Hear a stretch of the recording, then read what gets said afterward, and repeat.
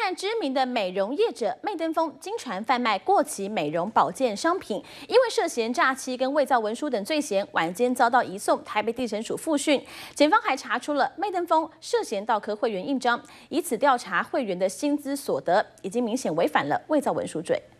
知名美容业者媚登峰遭检举疑似贩卖过期美容保健商品给消费者使用。媚登峰负责人庄雅清涉嫌诈欺及伪造文书等罪嫌，晚间遭移送台北地检署复讯。检调追查后还发现，媚登峰还涉嫌盗刻会员印章、偷查会员薪资所得。检方认为这样的做法已经涉及伪造文书罪。盗刻别人印章，然后拿别人薪资那个部分有没有什么？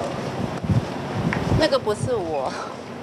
那个那个不是，那个那个不是，那是员工私底下的行为，那是员工私底下的行为。